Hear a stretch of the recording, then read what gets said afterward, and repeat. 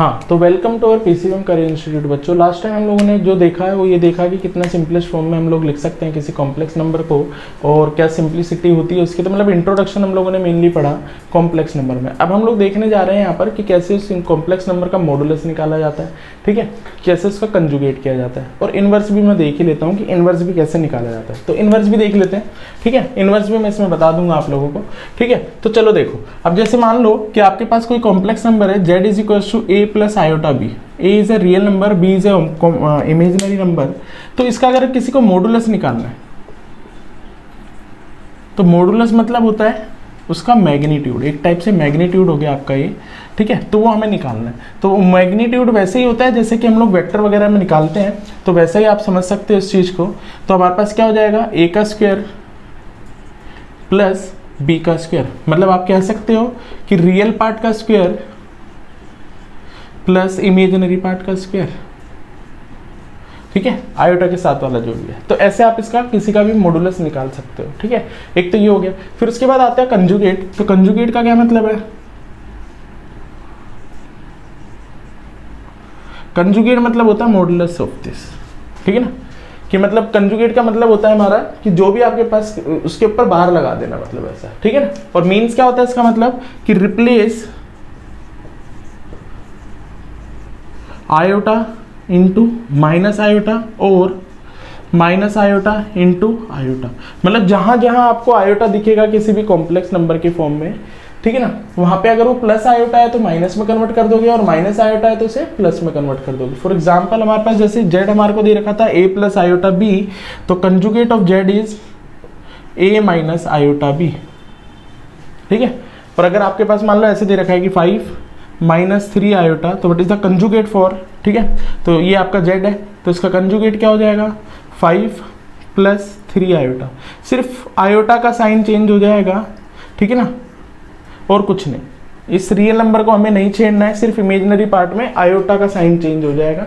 ये एक complex number होता है। तो इसी चीज़ को लेके हम लोग यहाँ पर कुछ प्रॉपर्टी भी डिफाइन कर सकते हैं और कुछ वैल्यूज़ भी ले सकते हैं। जैसे कि आपके सामने देखो मेरे साथ, अगर मैं किसी कॉम्प्लेक्स नंबर को उसके कंजुगेट से मल्टीप्लाई कर दूँ तो क्या होने वाला है यहाँ पर? तो देखो, एक कॉम्प्लेक्स नंबर आपके पास है ए प्लस आयोटा बी और उसका कंजुगेट आपके पास ए माइनस आयोटा बी ठीक है? भाई complex number A plus iota B और कंजुगेट आपके पास ए माइनस आयोटा बी अब मैं इसको मल्टीप्लाई करूँगा तो मेरे को दिख ही रहा है ए प्लस बी और A minus B which is A square minus B square उसी को देखोगे तो ए स्क्वेयर आयोटा का स्क्वेयर बी का square iota square is minus one तो it is a minus one B का स्क्वेयर तो कितना हो जाएगा? A square plus B square तो जेड इंटू में Z bar is two A square plus B square और ढंग से देखोगे तो कंजुगेट हमारा क्या है? यही है।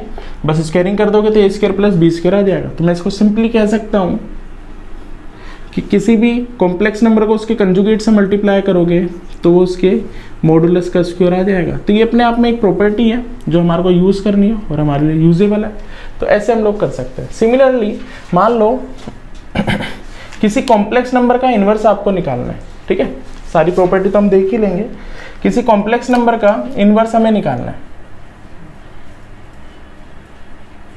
मान लो आपके पास जेड था।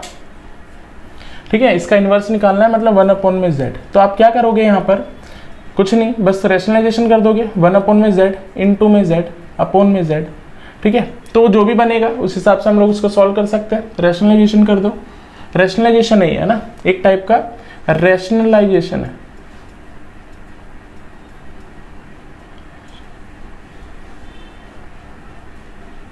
रेशनलाइजेशन तो रेशनलाइजेशन ही करते हैं जैसे इसका तो और कुछ मुश्किल नहीं है। जैसे अगर आपसे कोई बोलता है कि टू प्लस आयोटा फाइव है तो इसका ये कॉम्प्लेक्स है तो इसका इनवर्स निकालो।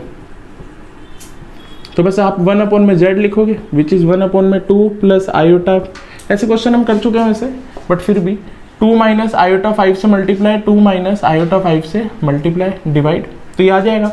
ऊपर टू माइनस आयोटा फाइव आ जाएगा, नीचे A plus B A minus B तो टू का स्क्वायर माइनस ठीक है? टू का स्क्वायर माइनस आयोटा फाइव का स्क्वायर तो जो भी आंसर आएगा iota square is minus one तो प्लस कर देगा इसको. Minus minus plus iota square से ट्वेंटी फाइव और फोर ट्वेंटी नाइन तो टू अपॉन में twenty nine minus iota five upon में ट्वेंटी नाइन तो ये आपके पास एक सिंपलेस्ट फॉर्म हो जाएगी, इसका इन्वर्स आ जाएगा, इसको इससे मल्टीप्लाई कर दो तो आपका वन वन आ जाएगा। दोनों मल्टीप्लाई में आ जाएगा। तो वो चीज़ आप चेक कर सकते हो तो इसका इन्वर्स ये हो गया, ठीक है ना? तो ऐसे आप एक इन्वर्स निकाल सकते हो। फिर उसके बाद बात करते हैं थोड़ी सी प्रॉपर्टीज़ के बारे में।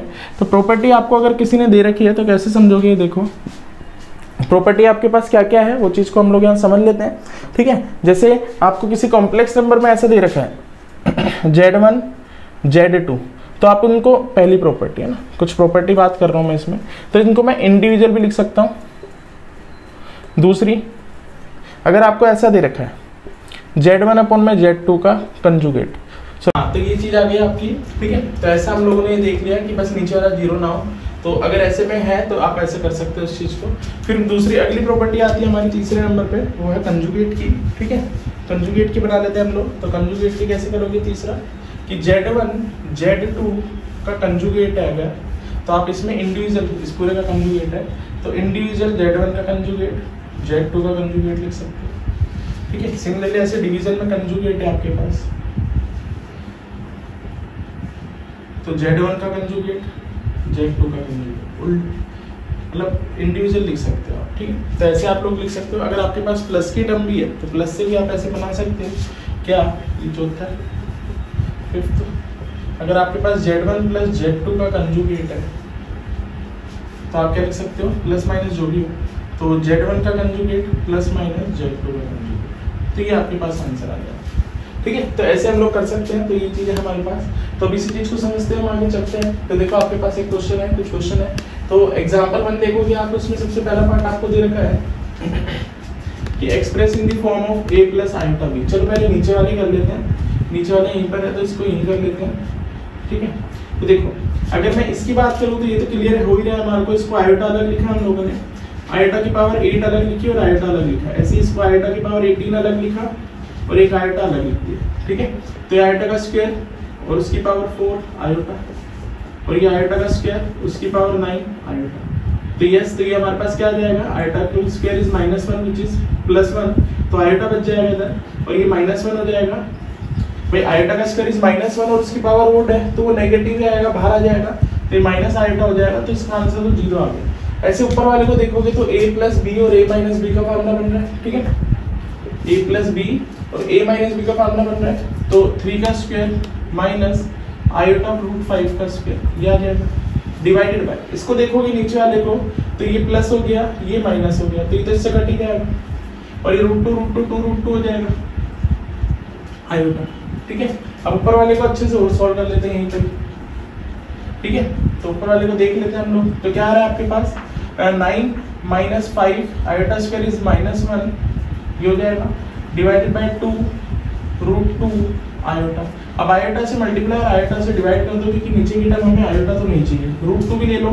चलो हाँ रूट टू भी ले लो। रूट टू भी नीचे चाहिए होता, नीचे हमें। तो वो भी हम लोग कर लेते हैं इसको सही ठीक है? चलो करते जाए कितना आ रहा है इसको करोगे तो? फोर्टीन आ रहा है। फोर्टीन रूट टू ठीक है? आयोटा डिवाइडेड बाय नीचे कितना आ रहा है आपका? फोर आयोटा का स्क्वायर इसको इससे काटोगे सेवन इससे काटोगे टू तो और iota square is minus one तो कितना हो जाएगा? Minus root two iota by two seven seven भी है सेवन कर सकते हैं। ठीक है? चलो, ऐसे ही आपको क्वेश्चन नंबर ये जो ग्यारहवा दे रखा है फाइव पॉइंट वन का तो सॉल्यूशन ग्यारहवें का अगर मैं करता हूँ तो इसका मल्टीप्लीकेटिव इनवर्स बताना है। तो हम वन अपॉन में लिखते हैं इसी चीज़ को। तो क्या हो जाता है? रेशनलाइजेशन करोगे तो इस चीज़ का। तो four plus three iota four plus three iota ऐसा लिख सकते हैं हम लोग इस चीज़ को और फिर सॉल्व कर सकते हैं हम लोग। तो सॉल्व करेंगे तो क्या आएगा? तो ऊपर तो फोर प्लस थ्री आयोटा हो जाएगा। थ्री आयोटा और नीचे A plus B A minus B का स्क्वायर तो कितना जा रहा है अपने पास? Four plus three iota divided by sixteen और ये minus iota square is minus plus बना देगा इसको नाइन ट्वेंटी फाइव तो फोर अपॉन में twenty five iota sorry only three upon में ट्वेंटी फाइव आयोटा तो ये मल्टीप्लीकेटिव यूनिवर्स है इसका. अब हम इस एग्ज़ाम्पल को करते हैं, जो एग्ज़ाम्पल में आपको दे रखा है. तो एग्ज़ाम्पल का पहला पार्ट है आपके पास five plus root two times of iota one minus root two times of iota rationalization कर दो. तो one plus root two times of iota, one plus root two times of iota, ये आ जाएगा। अब इसको और सॉल्व करोगे आप लोग।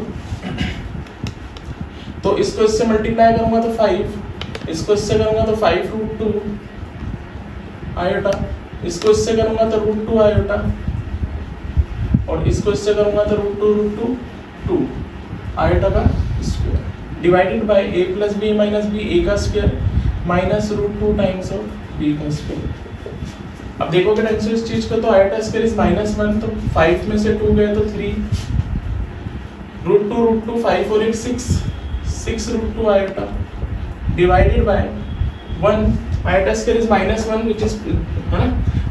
माइनस वन जो इसको प्लस बना देगा तो प्लस वन हो जाएगा। प्लस हो जाएगा मतलब root two root two is two तो टू हो जाएगा। तो थ्री इसके नीचे लिखूँगा तो वन और इसके नीचे लिखूँगा तो टू रूट टू